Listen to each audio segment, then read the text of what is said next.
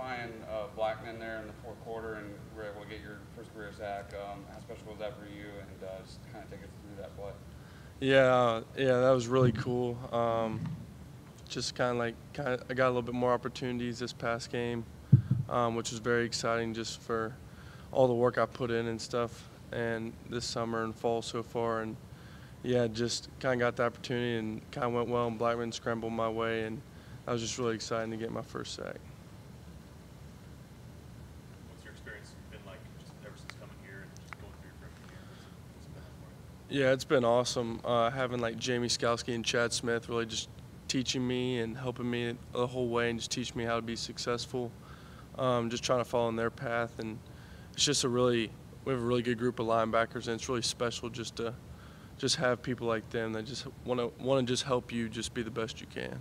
Describe what it's like to work with Coach Venables, what he's like in practice, on the field, and off. Um, it's awesome. He really, he really prepares you during the week. It's almost, it's almost even harder during the week than it is in the game. Uh, just the stress he puts on you, and he said he likes to put the stress on you just so when it's game time, it's just easy and you just get to have fun and have the opportunity to make plays when that time comes. What, what kind of feedback have you gotten from Coach V about what you're doing well and what you need to work on? Um, it just I would say that probably depends just more from game to game. Uh, just like comments on like what you did like on your plays, and like what you need to do better and what you need to fix throughout that.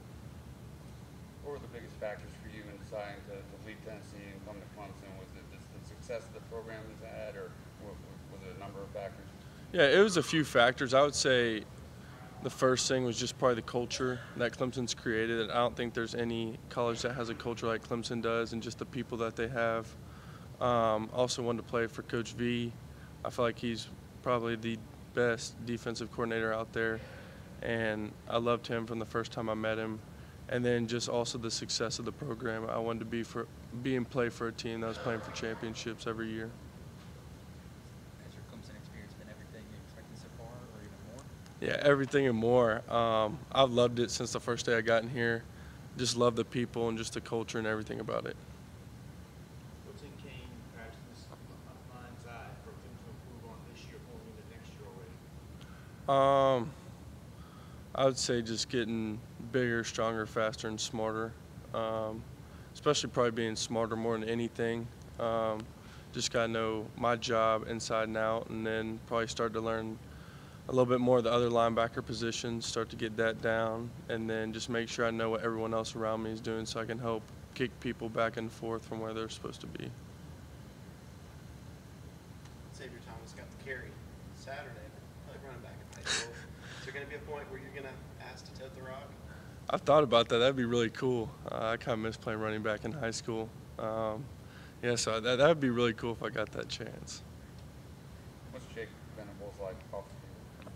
And he's he's really just a calm guy. I enjoy being around him. Um, we're always trying to get extra work in together uh, when we don't have practice or something like that. But yeah, he's been awesome to me. Just kind of like he's really taken me under his wing and just taught me how to just get extra work and just what it takes to be successful.